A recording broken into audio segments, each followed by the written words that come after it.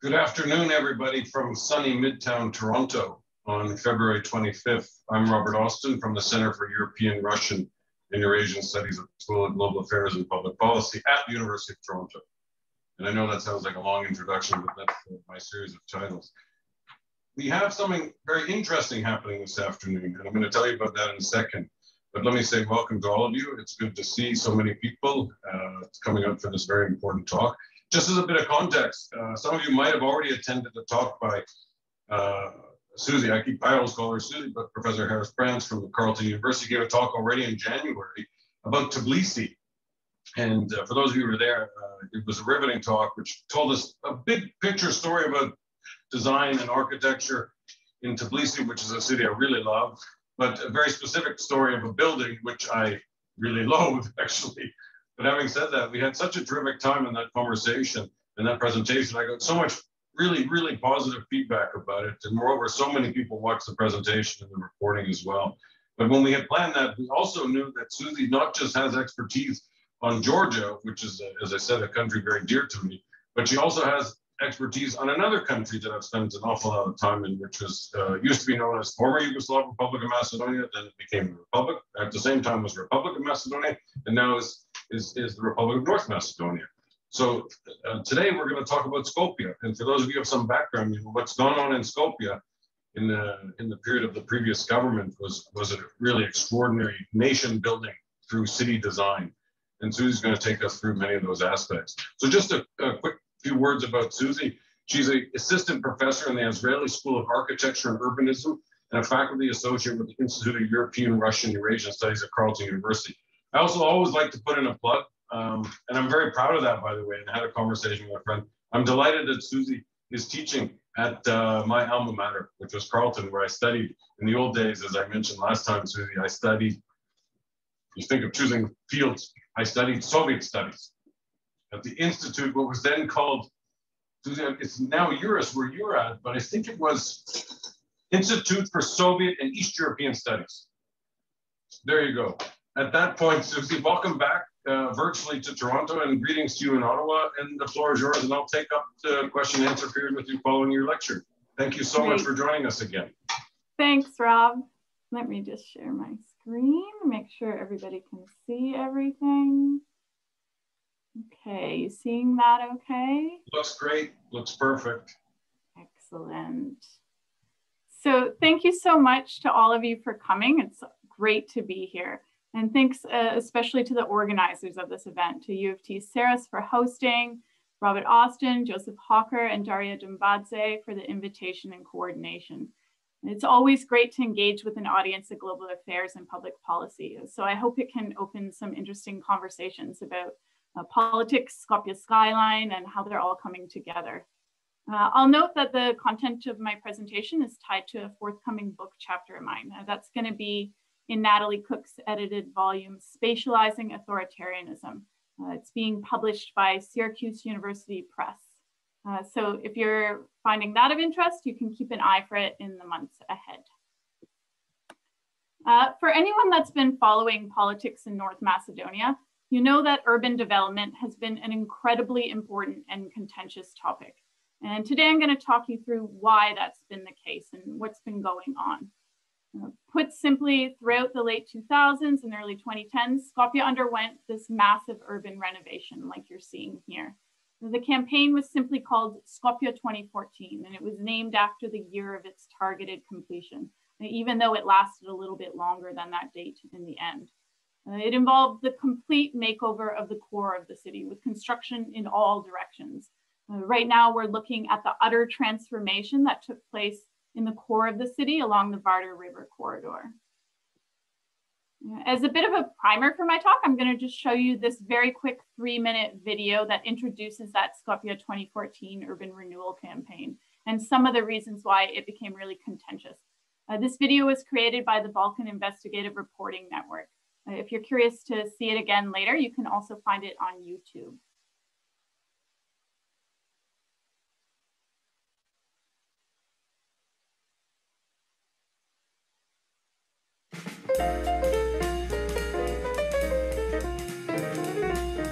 When the complete reconstruction of the city centre of Skopje was announced on February the 4th, 2010, few assumed that this project would turn into the biggest and most costly venture in the recent history of Macedonia.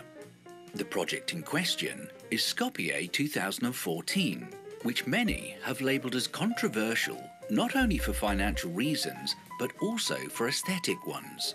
The cost of the project was initially set at 80 million euros, but quickly grew to a whopping 207 million euros before reaching over 628 million in just five years.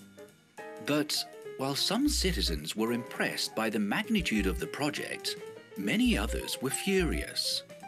Among the latter were numerous architects, non-governmental organizations, domestic and foreign media, and prominent intellectuals who saw this project as an attempt of spreading populist propaganda with tense nationalist overtones. But if taste cannot be disputed, when it comes to money, everything boils down to one question. How can such a small country, with an unemployment rate of over 28% and with a GDP per capita of only 35% of the European average, afford such a luxury? The inescapable impression was that the constant changes had been implemented chaotically, lacking transparency at an incredible pace and without any involvement by the citizens in the decision-making processes. It was also unclear who were the actors in the realization of this massive project and what amount of the budget was allocated for monuments that appeared literally overnight. Compared it to its initial projections, the project has increased more than three times in size, and the total expense exceeded the initial estimate by over seven times. By February 2017, the total amount spent on this project soared to over a staggering 670 million euros. To illustrate, if the country's average annual budget for the 2009 to 2015 period was $2.7 billion, 89.7 million euros were allocated annually for Skopje 2014 project, or 3% of the budget. This amount almost matches the annual budget of the Ministry of Health, which had 96.3 million euros at its disposal for 2015. Hence the need to explain to the citizens where has their money seeped? How was the alleged beautification of Skopje implemented? Who are the authors behind this project? And above all, how much does this cost us? Okay, so I'll I'll cut off there. These are some of the questions we can uh, deliberate. Okay, can you see my other screen again? Okay, great.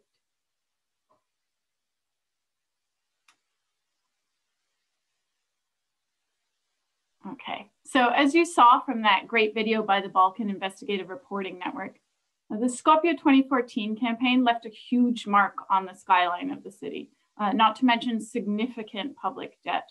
And this table summarizes all that was built for that campaign. It was a tremendous amount of new construction.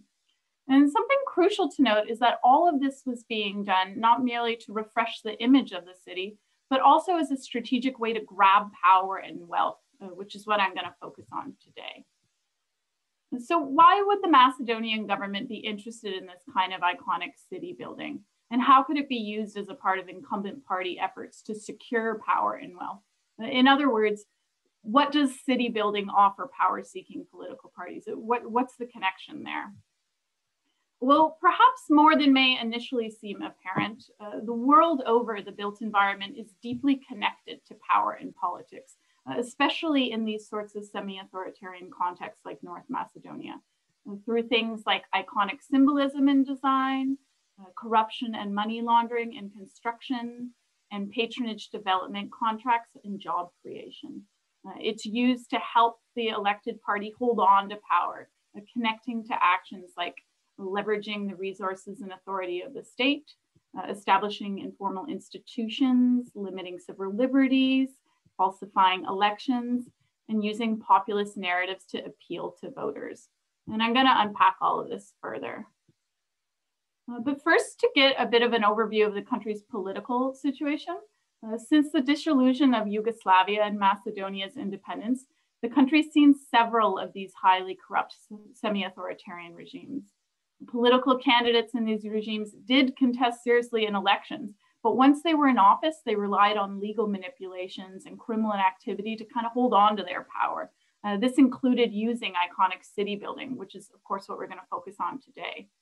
Uh, Prime Minister Nikola Gruevski's VMRO-DPMNE uh, party, it was a coalition government from 2006 to 2016, uh, marks to date the apex of these practices. And this is the regime we're going to look at more closely. As these newspaper headlines underscore, Skopje's changing cityscape was at the center of these developments, stirring controversy and acting as both an arena and a medium for the Gruevski government's corrupt power game. Uh, so linking back to the title of my talk, uh, one building that's a quintessential example of these practices uh, that really in many ways epitomizes the dramatic changes in Skopje is this opulent classical revival headquarters of the VMRO-DPMNE. Uh, it's officially named Dr. Hristo Tatarchev Palace after a political party forefather, uh, but it's known to locals simply as the White Palace. It's located uh, just a few blocks south of Skopje's central Macedonia Square in the heart of the city. Perhaps contrary to first impressions, this building inspired by classical antiquity isn't actually old. Uh, it was recently constructed in 2012 to replace this humbler modernist party headquarters for VMRO. The story of how the White Palace came to take on its opulent new form and the power and the wealth that it afforded the VMRO party along the way exemplifies the value of city building to power grabbing ruling parties. Uh, so to start to explain what's gonna, going on here, uh, I'm gonna consider these dynamics at three different but interconnected scales. So I'll start with the architectural scale, uh, looking at the politics surrounding the White Palace itself, uh, around its design and its construction. Uh, then I'll go on to look at the urban scale, examining broader city building and real estate extortion practices uh, across Skopje, uh, things that were done through that Skopje 2014 campaign. And those were practices which helped fund the party and the construction of the headquarters. And then I'm going to finish by discussing what I call the historical regional scale, uh, looking a bit more abstractly at the irredentist ethno-nationalist narratives that were used by VMRO as propaganda. And these narratives were expressed symbolically through design, both in the White Palace, but also all across the city. Uh, so what can we glean about politics in Skopje by zooming in and looking at the architectural scale of the White Palace? Uh, few people have been inside the White Palace despite it being well known all across North Macedonia. There's a strict entry requirement and uh, the security hierarchy corresponds to the floors for different party seniority. So while it's possible for some visitors to enter the ground floor lobby or perhaps even the second floor press conference space, uh, the upper levels are really restricted, even within the party's membership. The eighth top floor is reserved for the most elite VMRO figures. Uh, this is where Prime Minister Gruevski famously plotted deeper state control alongside other key party members, uh, something that was revealed in leaked 2015 wiretappings. It was often claimed that Gruevski gazed out over the city from within his eighth floor office, uh, built with armored windows. Uh, on a rare occasion, a reporter from the local A1 News got inside the White Palace and leaked these pictures. They're some of the only published images showing the building's interior. And like you see here, the reporter described expensive chandeliers, opulent furniture, uh, large oil paintings, intricate wooden inlay flooring and carpets, uh, all showcasing the VMRO Party's immense power and wealth. The building's exterior broadcasts a similar message of VMRO power and authority with its formal columns and other classical revival architectural features. Uh, like you can see here, the design bears this eerie resemblance to Benito Mussolini's fascist headquarters in Rome. Uh, on the left is Skopje's White Palace, and on the right is Mussolini's headquarters. And this caused some people to wonder if the fascist predecessor had actually been a kind of source of design inspiration for the party, as something that we'll never quite know for sure. It's never been corroborated. Um, but as we'll see, in many ways, the VMRO Party sought inspiration for its city building from all across Europe, uh, especially from Italy. It was a way to create distance from Skopje's modernist Yugoslavian appearance. This kind of neo-Baroque look instead associated the country with a deeper sense of ancient ancestry. Uh, but the VMRO's power and wealth manifest far deeper than just the White Palace's more decorative opulence and its kind of classical facade. This showed up far more illicitly in the behind the scenes things, uh, manipulations of things like architecture and urban planning regulations. Uh, and the party's privilege in office was used to approve construction that was in a kind of biased manner, something that's a clear example of an incumbent party illegally leveraging the resources and authority of the state. Uh, VMRO officials serving as government employees issued building permits, made urban planning amendments, and privatized adjacent state property, all to bolster the power and assets of the party. As a part of that process, in 2008, the local land cadastre was changed to merge the site of this original yellow headquarters uh, with adjacent land. Then in June 2009, the merged sites were quietly sold to the VMRO Party by its own in-office government officials. The land was sold for less than 4% of its market value. These changes were followed by manipulations to Skopje's detailed urban plan. Uh, as you see here, comparing the December 2008 plan to the one for March 2011, uh, the developable surface area of the site was dramatically increased from 689 meters squared to 1,224 meters squared. Uh, this was made possible through the appropriation of adjacent park space. Uh, later, this included the felling of 33 mature trees. The size of the building also grew, uh, roughly from 3,000 meters squared to over 12,000 meters squared, a growth of almost four times in size.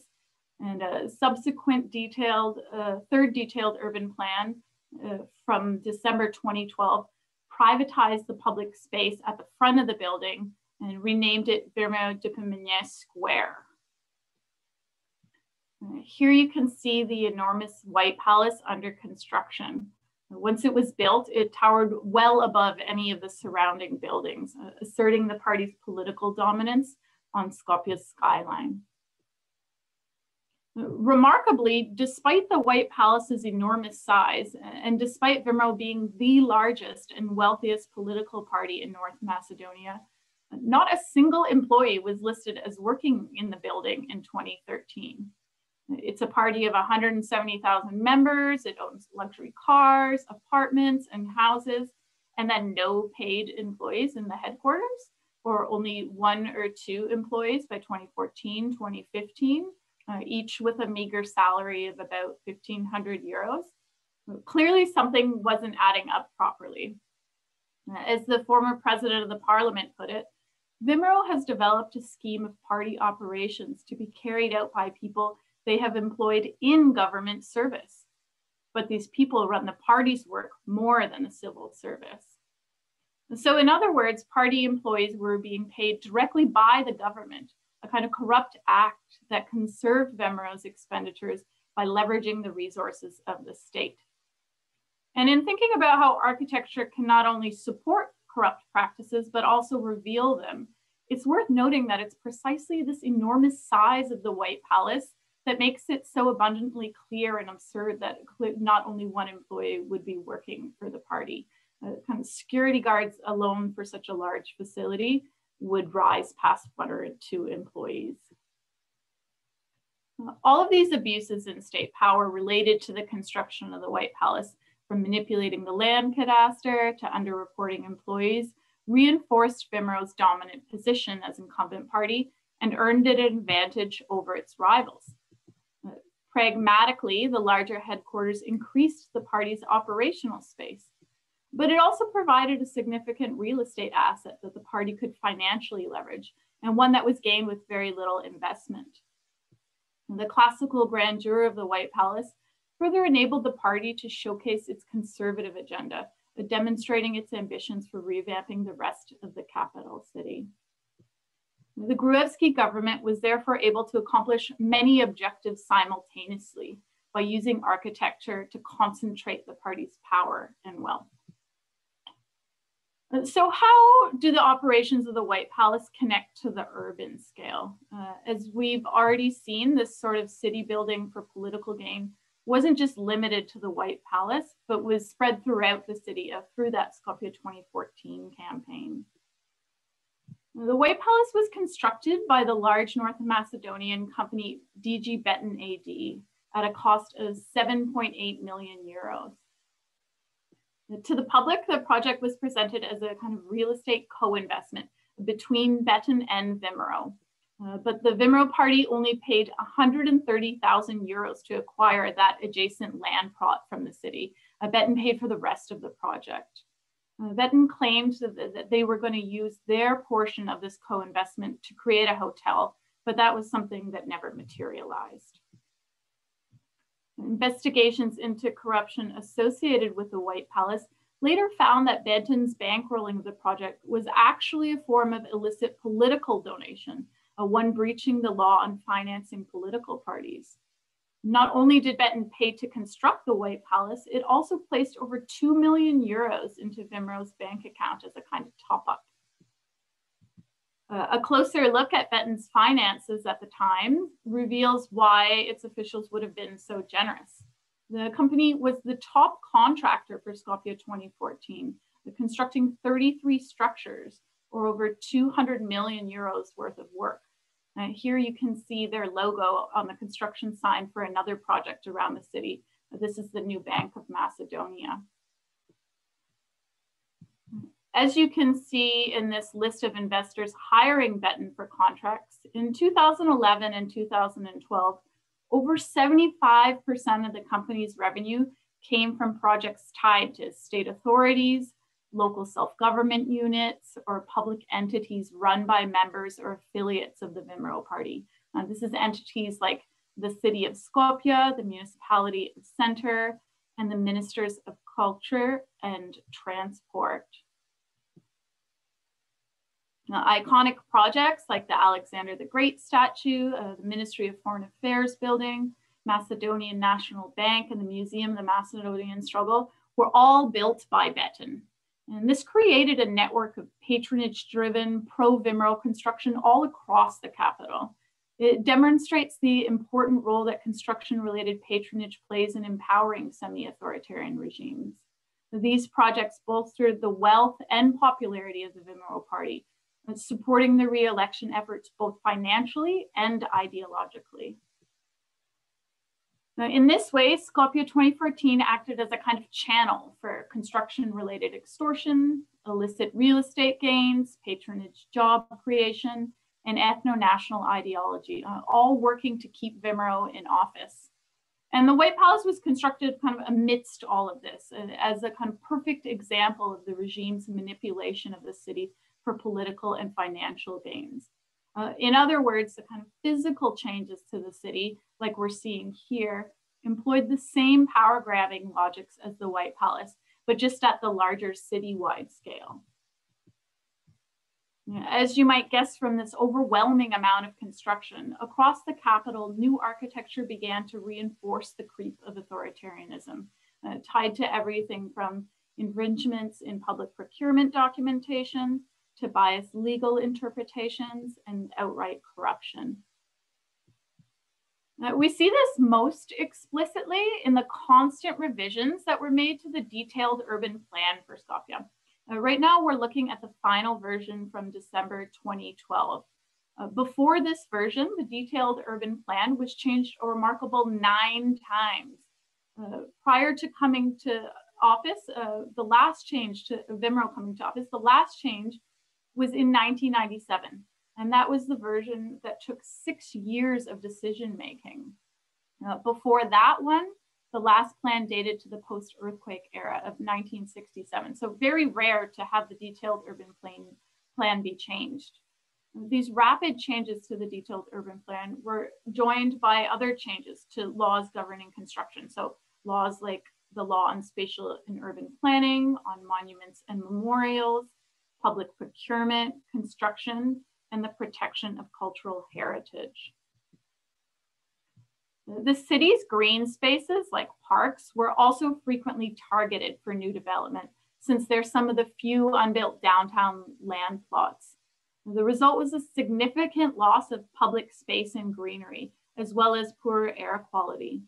Uh, here you see in black just some of the new projects that were built atop green space in the core of the city. Uh, all of this construction right next to bridging and even inside the river led to significant environmental issues, kind of sample of which we're seeing in this photo here. This is two of six proposed permanently moored galleon boats that were created as a part of Skopje 2014, and they acted as a pseudo-historical kind of restaurant and hotel pavilions. In total, three were constructed of the six that were proposed to go inside the Vardar River. Uh, several new pedestrian bridges were also introduced. Uh, these two on the right housed uh, at least 30 statues each, uh, working to recreate a sense of revised history and antiquity of the city. And they acted as a sort of outdoor museum. Now, the concept of the bridge housing all of this kind of bronze, bronze statuary was likely taken from Prague's Charles Bridge, which similarly showcases 30 bronze uh, Baroque style statues. But that bridge is from the 18th century.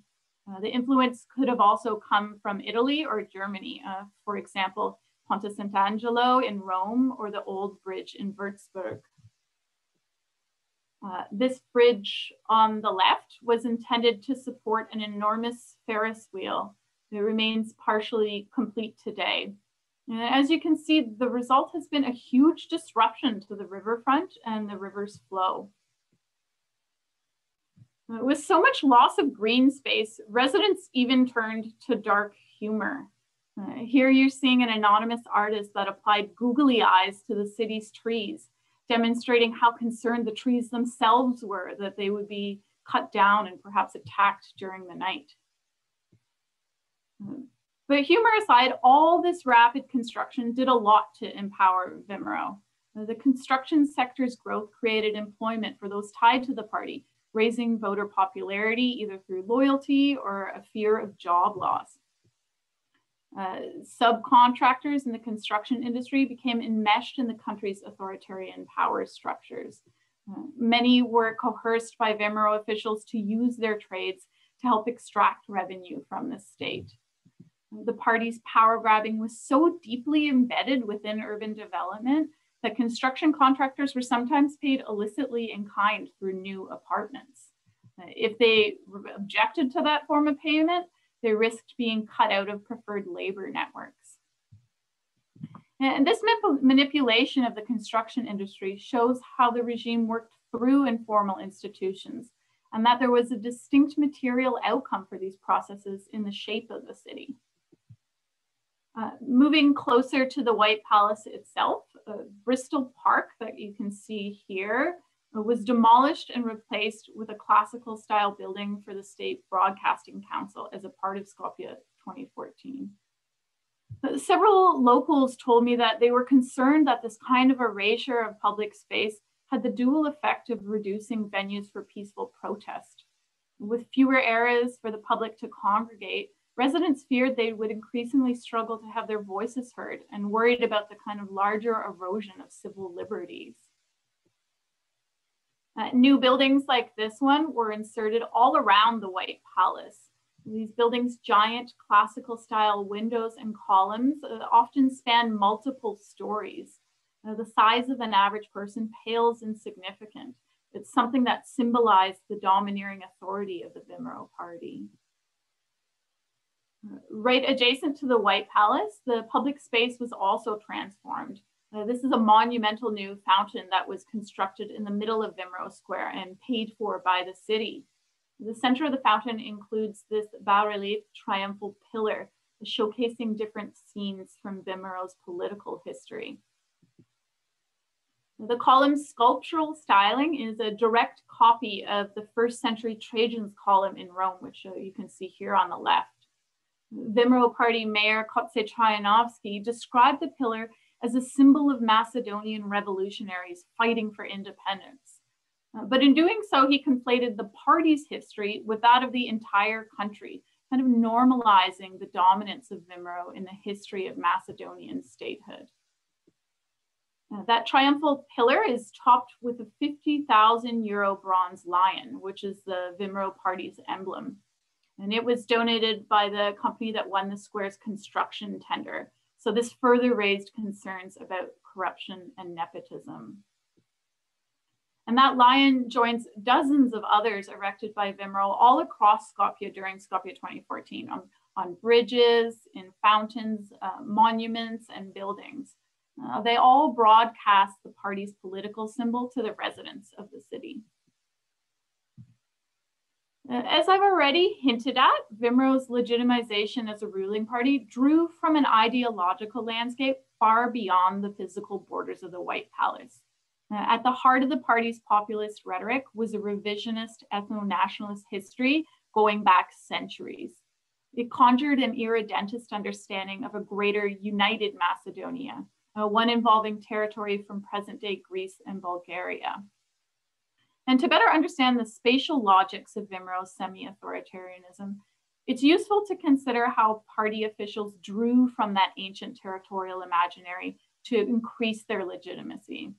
It's what I refer to here as the kind of historical regional scale uh, or the spatializing of VMRO's revisionist history. The Gruevski government's desires to resurrect the glory of the past were first made known through their electoral program from 2008, uh, which was entitled Revival in 100 Steps. The idea was to use conservative social policies and this form of iconic urban development to revive a sense of Macedonian nationalism. And this would support the party by appealing to right wing voters. Inside the White Palace, this nationalist agenda is communicated through more than 50 oversized photorealistic oil paintings in gilded frames. Uh, here you're seeing just four of them. Uh, Gruevski is foregrounded often as a central figure in these paintings. The narratives of the paintings are taken from several mass gatherings, celebrations, and rallies of the VMRO Party, as well as other key moments in the party's history. And the artworks displayed scenes that placed VMRO party members at the heart of Macedonia's historical, long-standing nationalist struggle. Uh, public frustration with the opulence of the White Palace and with artworks like this then made its way into local protests, uh, which included replicas of that same oil painting, uh, but this time with the party leadership shown behind bars. The protesters' banner reads, Our art is free. VMRO's revisionist understanding of history was further broadcast to the public at this museum, the new Museum of the Macedonian Struggle. It was built for Skopje 2014 on the right bank of the Vardar River. The museum opened in 2011 on the 20th anniversary of the Declaration of Macedonian Independence. Its curation is a form of institutionalized selective memory, supporting the party's right-wing ideology.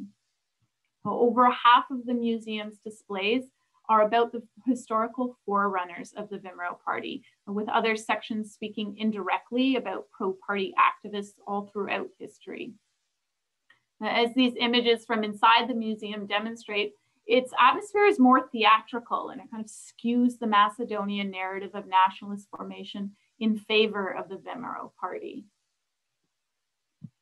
Similar to those paintings inside the White Palace, the museum's artistic works, such as wax figures, paintings, sculptures, and stained glass, selectively retell history. And these artworks also made party embezzlement easier, since the cost of art is always highly subjective and it can therefore be easily inflated. Uh, put simply by a Macedonian journalist, the museum's narrative grants the VMRO organization a particular monopoly over national liberation discourse. The party's revisionist history was resurrected all across Skopje through their embrace of classical revival architecture, or what they often called neo-Baroque architecture. And it was said to conjure this sort of pre-socialist image of the city. The overwhelming majority of new buildings for Skopje 2014 were restricted to that classical revival style, and existing modernist buildings were reclad to match those designs. Uh, this is the building for Macedonia's state-owned power utility company MEPSO, uh, formerly an iconic 1970s modernist building. Here you can see it being reclad with these enormous Doric columns.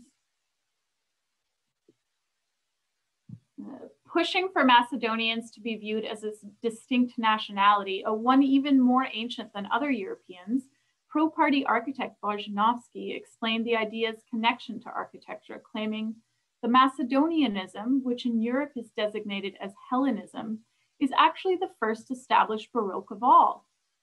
classical revival architecture spread this message all around the core of the city, with the facades of modernist era architecture being transformed one by one. Uh, here we're seeing the government building, uh, it's before and after, and how it was transformed as a part of this process. Now, along similar lines, a pro-VMRO artist argued, it's a neoclassicist style that's most appropriate to tell a true history. It's hard to tell something that happened 2000 or 1000 years ago with modernist means. For another pro-party artist, neoclassical architecture has at its core the idea of eternity and constant values, a style that also symbolizes power, elegance, and discipline. Skopje's new buildings constructed by VMRO would therefore communicate such values back to the public, making clear whose power it was that should last for eternity. Those that rejected what's been called the antiquization of the capital came to refer to this style instead as Gruevism after Prime Minister Gruevski. VMRO's role was therefore reinforced by the dissemination of ancient myths, uh, made possible through this kind of art, architecture, and urban design, including the White Palace. For a select part of the population, these projects were called the pride of thinking about the vast geographic expanses of a greater united Macedonia. These narratives carried important symbolic weight, but they simultaneously filled VMRO's coffers and entrenched the party's semi-authoritarianism. Uh, perhaps, as could be expected, uh, the VMRO party's tremendous use of the city to gain wealth and power uh, didn't last forever. The protest against the government climaxed in the first half of 2016. And then, after December 2016 parliamentary elections, so the party left office and was eventually replaced by a new coalition government led by the SDSM party. looking back at that period of urban protest, uh, we see that in fighting the VMRO party's changes to the city, civil society actors felt they were simultaneously fighting for democracy. Uh, because of their efforts, several projects were either canceled, relocated, or redesigned. Uh, for example, this controversial cathedral planned for Macedonia Square was frozen uh, before it could be built and then eventually built elsewhere. The plan to reclad an iconic modernist 1970s shopping center was also rejected after urban protesters forced a local referendum. Uh, here you can see protesters making a human chain around the building. And Skopje's cityscape is therefore the product not only of VMRO's illiberal practices, but also of popular resistance against them. Uh, civil society played an incredible role in holding on to democracy. Uh, much of the legal behavior of the VMRO party through Skopje 14 may have never been fully revealed uh, were it not for a special prosecution investigation that began in 2016. Uh, the White Palace was a, a, part of those investigations. In just one investigation, 11 people from the VMRO party were suspects, uh, including Gruevski, charged with money laundering and a misuse of office. The investigators considered Gruevski a main suspect, alleging that as VMRO head, he had accepted millions of euros of illegal donations. Uh, the investigation showed that instead of returning that money, he used it to illegally finance the party. As the special prosecutor's office delved deeper into the Gruevski government's actions, the White Palace was shown to be only one of the party's illicit real estate assets. Uh, between 2009 and 2015, 71 real estate contracts were made in North Macedonia by VMRO officials, all using illegally acquired money. And these holdings were outside of the large number of properties owned by individual party members like Gruevski. Uh, political power was therefore kind of spatialized at multiple scales and through numerous actors, uh, through iconic architecture and urban design like the White Palace and Skopje 2014, uh, as well as through lesser known corrupt real estate holdings. Overall, we see that architecture can be uh, crucial for power grabbing in these contexts. The White Palace stands as an iconic example of how power and space are interconnected in North Macedonia. Here, architecture can become an outlet for power retention. But like all cities, uh, Skopje is in a continual process of transformation, and it need not be confined uh, to spatially defined authoritarianism. Uh, so I'll stop there and we can hopefully open it up a bit for a discussion. Uh, thanks so much for your attention. Wow, that was amazing, like last time.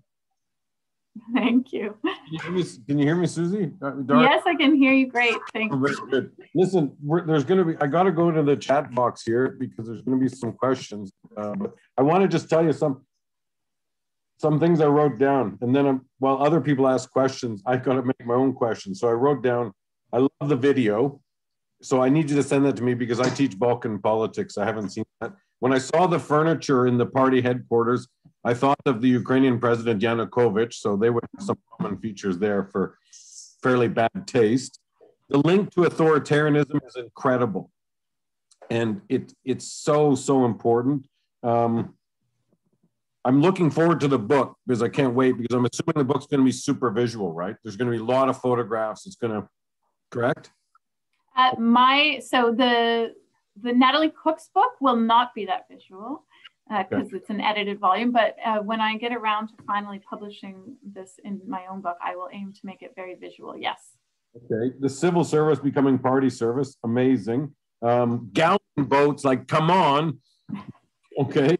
The wax museum, kind of like the dog. Um, I saw so many elements of socialist realism and Mussolinism, like almost like a, a fusion of these these weird tendencies. And just today in my class, I'm doing a seminar on, on parastates and conflict in the Balkans. We've been examining highway projects, and these largely fin- financed by China to some degree as, as, as sources of incredible enrichment so you're using a city, but if you look at these, you know, for example, the Mon- Montenegro highway, uh, Albanian highway from uh, Tirana to Pristina, this new Belgrade uh, Budapest railway, these projects are all fraught with extraordinary amounts of, of uh, issues with pr- procurement procedures. Okay, but that's my rough notes. I'm going to come back to that because I have to make them into questions. But I loved it. I got a comment already, Susie. Outstanding presentation. I had a bunch of emails during because sometimes people email me saying, "Wow, this is amazing. This is incredible." So nice. So here's uh, from uh, David Katai. We mentioned him at the beginning. He used to travel to Georgia with me. What lessons does the Skopje story hold for places where real estate is used to facilitate corruption in somewhat more subtle ways? London, Vancouver, etc. Hmm, that's a question yeah, it's, it, it is a great question. And I think it's a, you know, it's a really important thing. I, I think it, it can be tied to it in many ways. And, and you know, each context is slightly specific. So I won't uh, remark too much about London and other places. But I think there are lessons. I think often uh, urban development is is convenient for this because it's a, it's a kind of realm that people don't understand that well. It, it engage so uh, I conducted several focus groups as a part of my research for this. And uh, one of the questions that I asked was like, uh, what do people make of these inflated prices? These projects were incredibly uh, over budget. What do people make of that? And and most people were offended and outraged by that. For a couple said, well, you know, uh, that happens. What do you expect with multi-year projects? It's hard to know how much things will cost. Construction labor and material costs can fluctuate. Um, maybe this is just all kind of uh, part of that. It's hard to foresee exactly how things will cost. Um, so in many ways, it was a very convenient medium for corruption because it operated through certain laws that people uh, weren't as familiar with on their own terms, and because it could be blamed on a various myriad number of things from uh, you know material changes in prices, uh, issues in the soil, different changing drawings. So so I think that part of it is that it does work well uh, because it can be tied to several different industries and because it takes some degree of translation. I think that's part of why one of the, the strongest things that several of the activists did in Skopje uh, to, to help the public understand is just to expose what was going on. How were these laws being changed? How were things circumvented or short circuited? If the parliament was supposed to be the ones approving monuments, how did it get rerouted to only be approved at the municipal government in a way to kind of avoid scrutiny? So you need a translator in some of these instances, someone that can break down the different laws and explain the risks at hand and what's going on. And, I, I, think that definitely would have helped in some of the cases where uh, that select number of residents would say like, well, I, I kind of sympathize sometimes construction's hard to understand its pricing and, and, and how things can work. I mean, there's yeah, there's there's all kinds of implications for for what it means, and I think also it's I was fascinated to see how much uh, some people were were accepting of urban development because it resulted in a physical product. So other forms of corruption, the money is just gone and you don't see where it goes. Something about being like, well, at least now we have that building. There's a kind of artifact from this process, uh, no matter how flawed or damaged. Uh, in some instances, that placated uh, people. Not all. I mean, I think it goes both ways. Some people saw it as the kind of icon of what had gone wrong. Uh, but but there's a, a really unique uh, relationship of how construction can tie into corruption on many different levels. I get, by the way, Susie, I get questions sent directly to my email because I know a lot of the people in the audience and maybe they don't know how to use the Q. Sure. But but first, I want to ask you one of my questions, okay?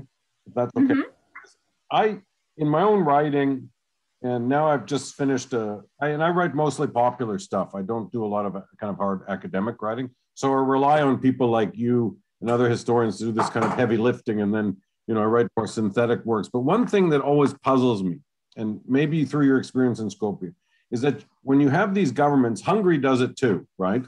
Where enormous amount of monument construction, monuments being built, monuments being moved, monuments going into closets, monuments coming out of closets. And it's all, but the one thing that I've always had trouble kind of assessing is how these monuments, and it, it, it's hard to explain in some ways, how, how do we gauge what these impact they have on people? See, I find that in Hungary, if I go to this very controversial monument to German occupation, which is it's not simply ghastly. I mean, it, it, it would fit in perfectly in Skopje. Absolutely. They should just move. But whenever I'm there, it's always just tourists there. Mm-hmm. And I've observed it a lot, Susie. I mean, I've spent a amount of time. When I talk to my friends who are kind of like me, they say, ah, this stuff is kind of suffocating, right? So can you tell me more about how you gauge or how you try to get what impact this, and it it's catastrophic what they did. It's it's not merely ugly. It's simply catastrophic. And how it the population when it was supposed to project power, what what really happened? Yeah, great, great question, and something that I really wanted to try and get at. So I ran six focus groups in Skopje. I wish, uh, and maybe if I had the chance to go back, I'd love to do a public opinion poll there to get an even larger sample. Uh, but it was a really good way to just start conversations around these things. So they were divided uh, two different groups of uh, ethnic Macedonians, two groups of Albanians at different ages and uh, mixed gender, and then uh, depending on the political party. So those that supported explicitly supported the VMRO party and uh, those that supported other political parties to try and get a, a general sample of public opinion. And, and, it's pretty remarkable in line with what you say, like many, many people. So if you ask, like, what did they think at the beginning of this campaign? A lot of people that were not particularly politically inclined were excited to think that their city could be given a, a fresh look. Uh, this campaign was announced uh, rather banally, actually, at a press conference held outside of um, City Hall. There was this short video that I, I, should also share, but uh, that was a, a, kind of 3D animation that showed the whole downtown and what was about to happen. And you're, you're zooming uh, uh, almost as a drone's eye view over the core of the city. And then they zoom in on each of the new monuments, statues, and they show it in great detail. And, and when people saw this video for the first time, the, the opinions were kind of divided. Some people totally laughed and were like, what is this like a, you know, very antique look? Should I be dressing in 18th century garb too? Um, you know, what is this? And other people were like, no, this is kind of exciting. This could be a way to refresh the image of the city. But none of them imagined that I, from my focus group, imagined the, the magnitude of what was to come the amount of additional projects that would be added over time, the cost inflation of all of these projects, and, and even just the palpable experience of living in a construction site for like almost a decade. Like people just said there's noise, there's dust. It's like you cannot escape, and the danger of things almost falling on you everywhere you go. Uh, so people became really polarized. So that was just the experience of it. But getting back to this idea of identity, it was hugely polarizing and particularly some of the projects that seem to be emulated from other places. So uh, Porta Macedonia, which I think I only showed briefly, that it's a kind of triumphal arch off the main square, um, usually done to mark Roman uh, victories. And, and, and then here kind of rebranded as a way to mark independence. Uh, that mixed with some of the, the inspiration of these bridges or other things from all around Europe. And, and the fact that this was this kind of eclectic emulation of pseudo Baroque, pseudo neoclassical. We don't really know. This comes a little bit from uh, ancient Greece. This comes from Rome. Maybe this is Vienna or Prague. Um, many of the focus group respondents were really ashamed and embarrassed. They were like, now our identity has been kind of kidnapped or emulated from other places. Like, uh, if we were once allowed to, to you know, try to have a sense of Macedonian identity, now it's being uh, kind of conveyed from uh, the top down, from mostly from kind of Gruevski's sense of where he traveled, what he thought should be brought back to the city. Uh, you know, one of them had this uh, facetious comment of like, he went to China and we hoped that he would never see the Great Wall. Like, then we're going to get that in Skopje. And so people that were already kind of uh, precariously coming to terms with what might be their own distinct regional identity felt that then the, this copycat identity was being imposed upon them. And then tourism also started to tie into that. Uh, one woman that actually was, you know, quite fond of some of the initial projects said, you know, even the tourists are coming. I think they're coming to laugh at us to see this, like uh, the city of kitsch, as I think what the Guardian called it. And so this just like very painful for everyone to to think that what's an important place. Cities are rich, uh, you know, diverse places and for it to be deduced uh, in international media as a kind of capital of kitsch was very hurtful for many people. And then that's not even to mention, you know, the the, the subnational divisions of uh, Albanians and, and their place of feeling that uh, they weren't a part of this. And, and there's a there's a huge spatial component to that too, where all of those projects along the river corridor um, kind of turn their back to create a wall to the to the bazaar to the old Ottoman district, which is predominantly Albanian, and so they create this new line along the river that both blocks some of those um, modernist Soviet era, or sorry, socialist Yugoslav era buildings, but but also the Ottoman district. And even their entrances are all oriented uh, south to the other side of the river as if they're kind of turning their back uh, to the Albanian quarter. So so all of this symbolism in the design started to, to manifest in what, what does that mean as a proxy for relationships in the country. uh, it really started to be quite divisive of, of, of, identity on many levels. There weren't too many people uh, actually in my group that that said they really felt this did embody their identity, and it was like a, you know, really proud moment for uh, what Macedonian culture represented. I'm glad because I was going to call. I'm glad you included this the aspect on the Albanians because again I've looked at the city too, and I'm glad you mentioned that for them the whole thing was like wow they did get that. Although the Macedonians kind of claim her too, but they got the Mother Teresa uh, statue, uh, you know, but it's much more modest, for example, than what Alexander the Great gets. But Mother there Teresa, was supposed to be a, enormous Mother Teresa on Macedonia Square too, uh, paid for by an Indian millionaire, but then he was charged uh, for high corruption in his own country and it never got realized. Well, this is the whole dimension of our lives to understand monuments as a way to kind of launder money or make money, right? Yeah, and one thing maybe I didn't properly explain enough, but but they're very convenient because as works of art, you can really inflate their price. Like who's to say how much a painting is worth, how much a sculpture is worth. And that was one of the main things that came up when many of the artists that produced these work were not famous Macedonian artists. Uh, they had not been previously acclaimed for their work. Uh, Valentina Stefanovska, the main one who did Alexander the Great, was a you know very little known artist, and then did many many commissions. And then the the, the claim there is that uh, her commission would be a certain amount, and then she would gift back a large proportion of that commission uh, to the ruling party. So there was a, a way to just inflate the price of some of these creative works because how do you put a price uh, value on artistic expression? Absolutely. There was a time not too long ago that you could, if you were willing to put a bust of Haidar Aliyev up, you know, maybe even in your backyard, you could get rather well, you know. But, uh, yeah, unfortunately. I've missed the boat on some of these opportunities. I've got a question in the in the Q&A tool from Emma Marchesco, who's one of our students here. You can see it, but I'll read it for the rest of the audience, Susie. First, how much money was spent on building the White Palace?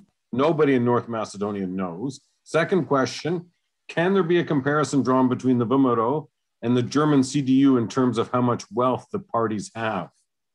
Hmm. Mm -hmm.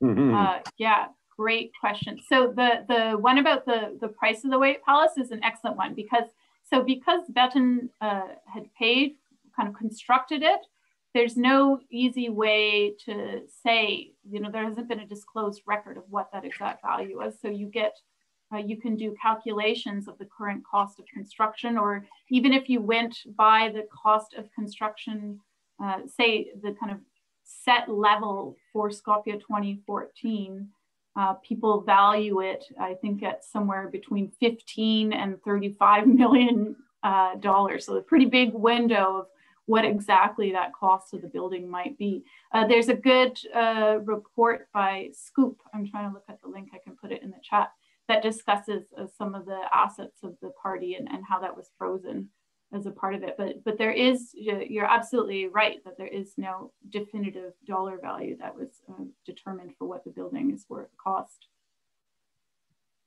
Um, and then the second one, uh, to be honest, uh, I, do, I wouldn't want to make a comparison. I'm not as familiar with the German CDU party in terms of wealth, uh, but VMRO has an incredible uh, amount of uh, assets and wealth over many years, much of it in, in real estate. And I think uh, probably a good amount of it that's not uh, entirely known if you consider individual party members and not just the party. Uh, that was, uh, I highlighted the 70 or so properties that were frozen uh, as a part of these investigations. Uh, but there's, of course, incredible wealth also in individual members that, that hold their own real estate holdings. Yeah, but thank you for that question. I'll, I'll add that link to the scoop uh, assessment. Daria's going to try to help me. Daria, how do I get the chat is different from the Q&A tool. So I want to make sure that we have a, uh, how, Daria, how do I get these links that Susie's saying to make sure I get them to the. Uh, oh, yeah, I see what you're saying. Yeah, because the chat box is different than. Uh, but by the way, you know, just I, have got a question in the in the email, but I'm just going to say, like, I, I think it's in, Daria's going to do that. Daria just sent me a note, everybody. She's going to send uh, all of you the link. So Susie's got the link to the BIRN video, which is, and that's B-I-R-N, by the way, which is a terrific source for who don't follow the Balkans. That's um, the best source, Balkan, the website's balkaninsight.com. And then um, there's another one. And then Daria will send all the panelists. Sorry, if I'm not looking at the cameras because I'm looking at the chat box. And Gruevski, someone should, you know, when we can travel again, you know, he's sitting, he must have an awful lot of money. He left in such a strange way from Macedonia and then headed, I think, through Albania, then through Serbia. I wrote a little bit about that and then ended up in Hungary, where he was declared a refugee within kind of, it's the fastest refugee case, I think, in the history of refugee claims. I think he was made a refugee within four minutes of arriving. Given how Hungary has a reputation of not being so refugee friendly, Gruevski seems to. Where's he at now, Susie? What's he up to? What do we know? Um, I believe he's still in Hungary, like you say. Um, uh, there was so he was tried in absentia uh, in 2018 and sentenced for two years of jail for the illicit purchase of a luxury car. that was one of the first, I guess, trials to go through with him. Um, uh, sorry, that one was in 2020 uh, uh, no, so he's been charged on multiple ones. So, so 2018 was that first in absentia trial. And then um, last September, uh, for the for inciting that mob that took place at the municipal uh, uh opposition party in 2013. And so the kind of charges are going on in the background, and um, hopefully more will be revealed in, as time goes on. But yeah, uh, he hasn't come back into the territory? But, You know, I, am no expert, but I think the government, the Social Democrats, you know, they kind of let him go. And I think that, you know, he escaped in plain sight. I think there was a good reason to not really seek a trial. It, it might have been too divisive. Now, Susie, I've got, hang on, I've got to get in this Q&A box here. I've got a, a wonderful question, then I'll go back to my email. I've got a wonderful question from a young man in Slovakia, and I know this young man very well. In fact, we just spoke earlier this week. He's going to be joining us in the fall. It is probably a longer question. However, we know that Macedonians have had a state for a short time. Centuries of occupation and foreign rule cannot be erased. Moreover, after 1991, there have been only a few events to be celebrated. Do you opine that the creation of such an enormous project was a tool of creating a new artificial identity of Macedonians? And thank you, Tomas, for that great question and greetings to you uh, late in the evening in Slovakia. Yeah, that's a, that's a wonderful question.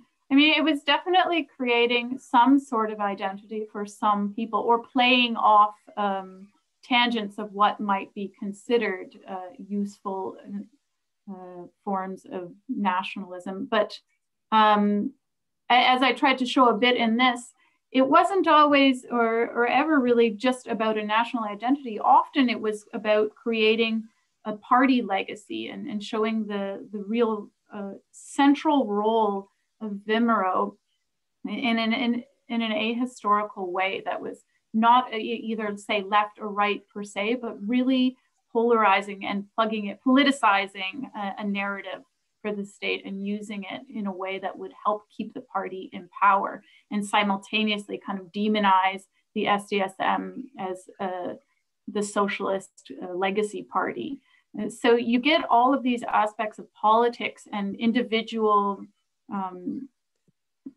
uh, initiatives and desires getting mixed in with uh, what could be considered more of, say, just a definition of uh, national identity for Macedonians. And, and particularly given the cosmopolitanism of the city and its different groups, that many Macedonians felt that it was outside, that that identity wasn't resonating with them. Uh, and, and so I don't think it is just about a like showing of, of one identity that was not necessarily palatable to others, but it really had at its core of reinforcing a particular political party and, and keeping those officials in office. I mean, seen through things like Gruevski being the central figure in so many of those paintings and the Museum of the Macedonian Struggle really foregrounding uh, the role of the party in history, not just a, a particular history. Okay, on to my email here, Susie. And this will throw you into a fairly large international space. So do it, do it with it what you want to, okay? how does this level of graph compare to other major monumental architecture projects around the world? For example, Gulf states, Baku, uh, of course, capital of Azerbaijan, uh, parts of China and India, for example. I mean, the, the simple question is, I don't fully know, but I'm keen to keep investigating it. I, I, that's definitely been a question of mine that I'm interested in knowing. And uh, my focus has been a little bit more narrow on these semi-authoritarian contexts where, where there is some tension between uh, the, the, democratic aspects of the country, whether they're having elections, the amount of accountability to the public and institutions, international accountability. Um, I think it's, it's, it's, well, let me just first say it's the largest in Macedonia, even larger than the post-earthquake reconstruction. Uh, which was huge. I, I didn't have the time to really open that all up. Uh, but after the earthquake in 1963, all of Skopje was rebuilt. Um, and that was an enormous, enormous campaign. Uh, and this one uh, eclipsed that. So, so locally, it's, um, it's quite remarkable and, and really extreme. Uh, I think when you get into uh, some of the more authoritarian contexts, so if you look at, say, uh, uh Astana, Nur Sultan, that's that's an enormous project there. I, I don't know the exact costs or uh, and then uh, in in authoritarian contexts, fully authoritarian context, the idea of corruption also becomes more blurry because the state can just control things in its its own way. You don't necessarily have the same um, ability to define corruption as, as these kind of breaking of legislations and working against the ruling party. So I don't know. I'm curious to keep studying this a bit further. From from the areas that I saw, it's definitely one of the largest and most expensive given the size of the country. And uh, the, you know, Skopje is a very small city. Uh, to imagine such a tremendous amount of it being uh, transformed in this manner. So I have two, and then I'll probably hold on. There's another question. Hang on. Sorry it's weird to try to do that because my friends in the audience, as I said, they email me, but that's fine. So the, the question is this, what's the status? And now I'm not looking at it, I'm just going to paraphrase it. What, what's going to happen to these projects now? We have a new mm-hmm. government. Mm-hmm. So I'm just paraphrasing. You, you spent all this money. Basically said, okay, Alexander the Great's not really ours. Um, we're, we've toned down all this stuff. We've made friends with Greece. We changed our name. So now what?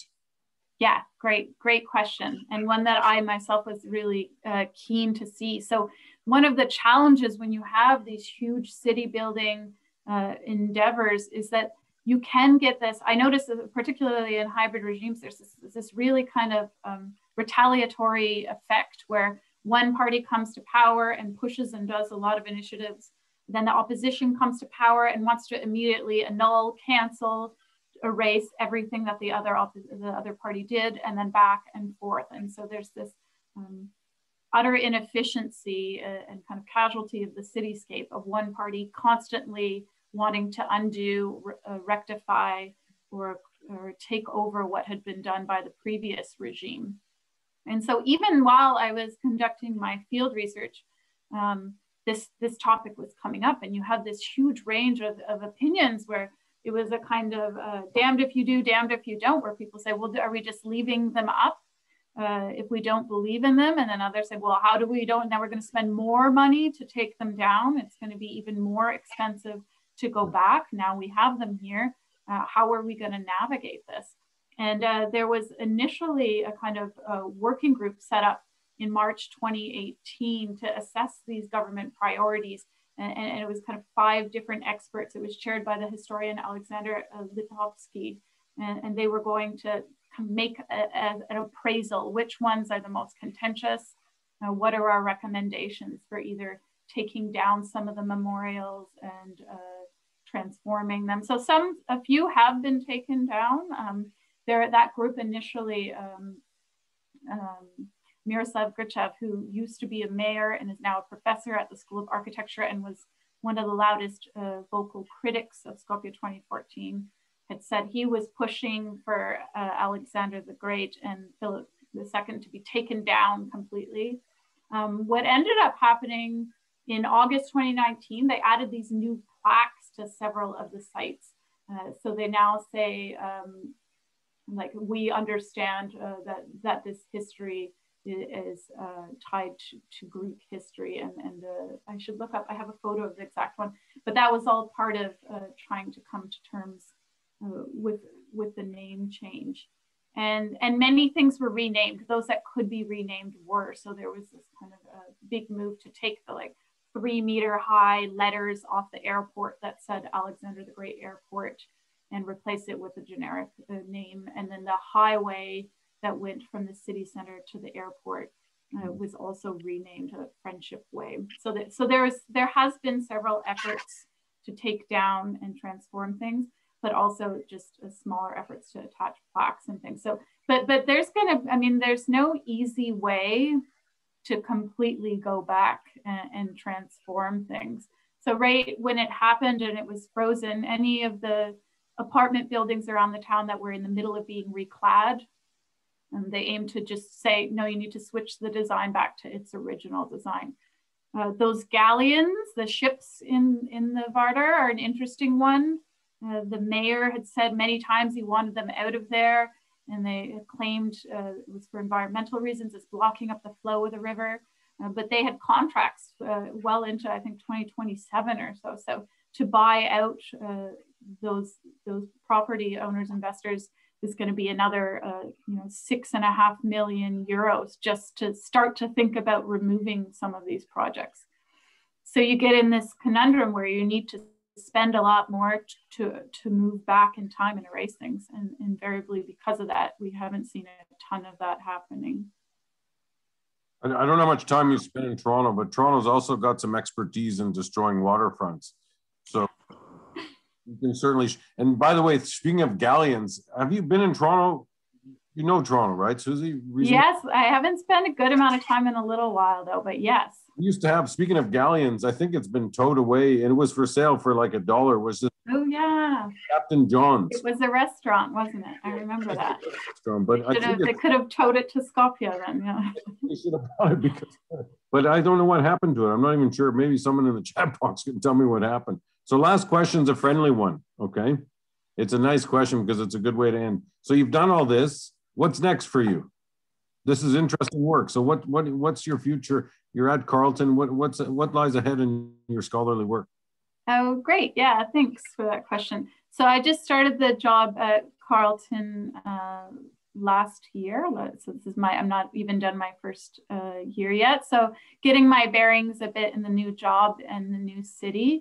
Um, I, the research you're seeing is all kind of slight uh, snapshots of my dissertation research that I invariably need to decide uh, to turn into a, a, larger volume. So I'm right now trying to decide if I should add additional case studies and make it a kind of larger um, comparative project or maybe uh, parse it off and do deep dives in just the individual case studies. But but there's an incredible amount of interesting similarity. Like um, Rob, this will definitely resonate with you. Like Tirana, I think uh, is a city I would have loved to study further. Many of these sorts of projects were just starting up when I started my research. So it's hard to appraise something that hasn't been built yet or, or is just kind of in the works but I, would love to just see, keep an eye on what's developing there further. Um, my work continues in uh, Tbilisi a little bit more than the Balkans, but I, I, would love to just continue to see how these things are playing out. I mean, unfortunately, uh, this kind of uh, semi-authoritarian city building isn't really going away. It's, it's taking on different forms and different agendas. And so part of it for me is just going to be tracking that and, and testing and challenging some of my own hypotheses of, of what I thought was maybe a trend and then it's not a trend or it's uh, showing up in new ways. And how is city building being reinvented and urban development as a kind of tool for incumbent parties to stay in office?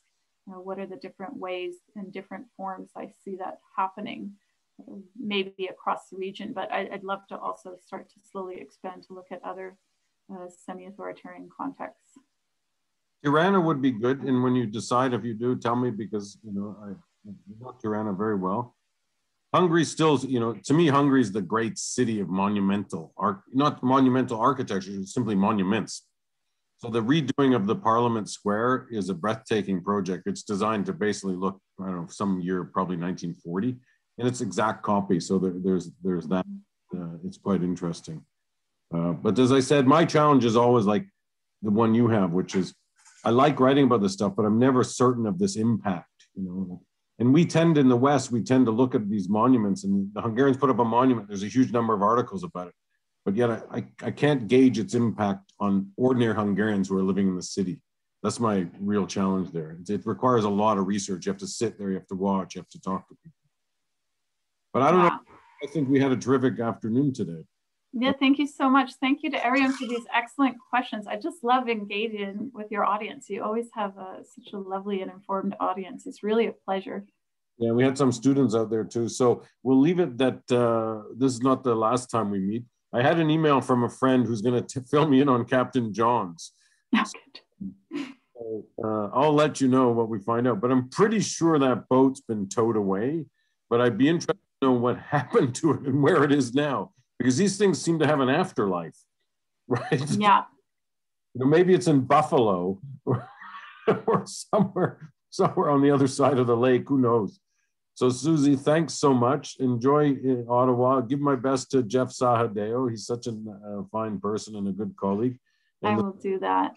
Sun's setting right in my eyes in my house right now. I have to lean forward like this.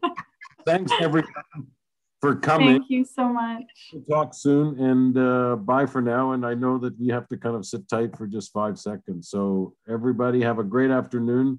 We'll, as I say, catch you on the flip side or on the other side of this pandemic madness. Thank you so much.